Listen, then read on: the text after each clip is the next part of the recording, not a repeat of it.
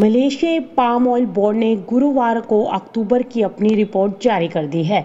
इससे पहले बुधवार को अमेरिकी कृषि विभाग की रिपोर्ट जारी हुई थी। इन दोनों रिपोर्ट के असर से दुनिया के खाद्य तेल बाजारों में बड़ा असर देखा जा सकता है। लिहाजा बुधवार और गुरुवार को खाद्य तेल की कीमतों में गिरावट देखने को मिली है। मलेशिया पाम ऑयल बोर्ड की रिपोर्ट के अनुसार अक्टूबर में मलेशिया पाम तेल का उत्पादन दो दशमलव चार चार फ़ीसद बढ़कर एक दशमलव आठ एक मिलियन टन के पार पहुँच गया है। रिपोर्ट के अनुसार अक्टूबर में देश के एंडिंग स्टॉक में भी करीब पौने चार फ़ीसद की बढ़ोतरी हो रही है। एंडिंग स्टॉक दो दशमलव चार ज़ीरो तीन मिलियन टन तक पहुँच रहा है। मलेशिया में पाम तेल का बड़ा स्टॉक दुनिया भर के खाद्य तेल के बाजारों को प्रभावित करेगा।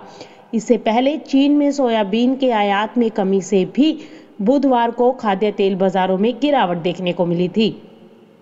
दरअसल इस सप्ताह के शुरुआत में ही विदेशी खाद्य तेल बाजारों में मंदी देखी गई थी चीन में कोरोना प्रतिबंध जारी रहने से खाद्य तेल बाजारों में हल्की कमज़ोरी बनी हुई है। खाद्य तेलों के मामले में चीन दुनिया का सबसे बड़ा आयातक देश है। चीन की डिमांड में एक एक भारी कमी आने से सीबोट में कमज़ोरी देखी गई और इसीलिए उसकी डिमांड का असर मार्केट पर पड़ना स्वाभाविक है।